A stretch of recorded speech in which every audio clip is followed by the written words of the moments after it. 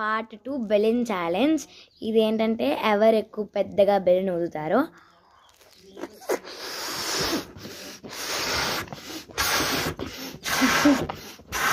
Complete చేశాము. ఇది మా నా బెలూన్